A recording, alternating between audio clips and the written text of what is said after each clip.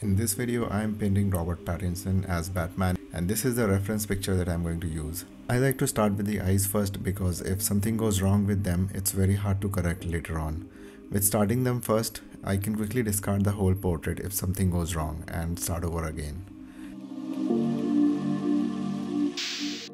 For the skin tone, he has a pale skin, so I'm starting with a yellow and orangish undertone and later on I'll add more layers with some reds and browns. So going forward, I'll keep explaining the key ideas on how I approach a watercolor portrait. If you find this video helpful, consider subscribing. I'm going to add a lot of in-depth watercolor tutorials. So moving on, like I mentioned, I'm putting in more layers with reds and browns. Important thing here is to let the previous layers dry and then add another layer. Keep the paint diluted in initial layers and increase the concentration of paint only in last few layers. This way you can easily build up complex interplay of colors without actually mixing them. Basically all the mixing happens on paper.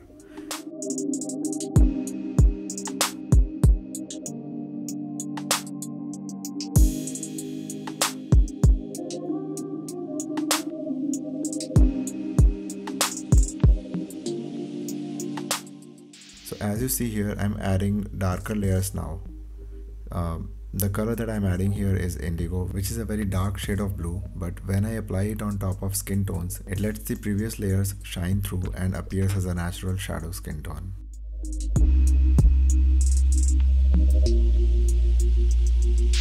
For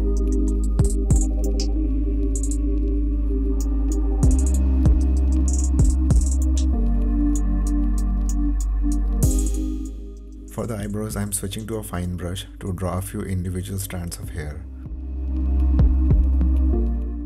Also, our new Batman paints black color around his eyes, which you might remember is visible from his mask.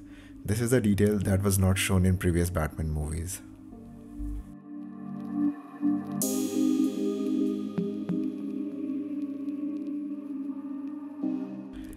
Starting with the batsuit now, we'll come back to finish the face in a bit.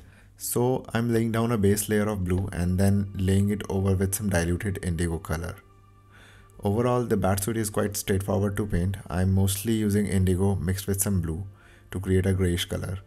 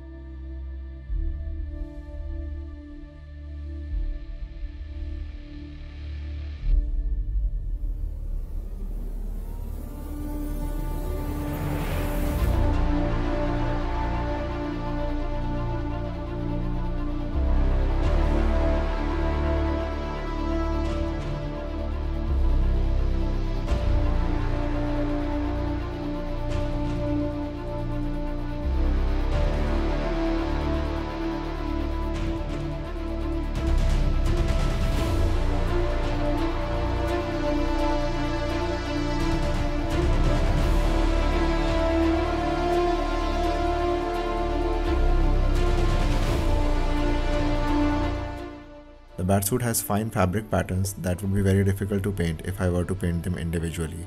To tackle this, I'm fanning out my brush which allows me to paint it quickly. I use the same technique for hair as well which you'll see in a moment.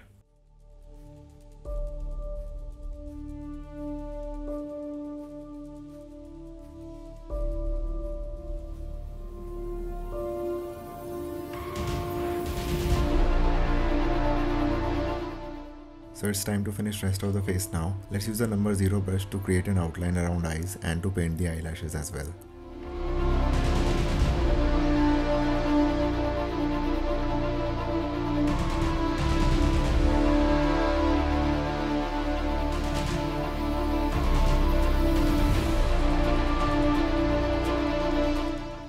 For the hair, I first start with a light red as base color because he has various shades of brown in his hair which appear slightly red in bright areas. I'll follow the same layered approach and build up darker colors as I add further layers. Additional thing to note here is that we want to apply brush strokes in the direction of hair.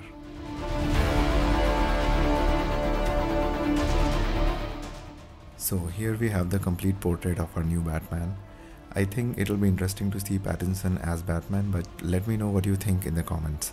And if you enjoyed this video or found it helpful then please subscribe to the channel. It helps me a lot and keeps me going. So here I have a really interesting video for you next which I think you'll enjoy.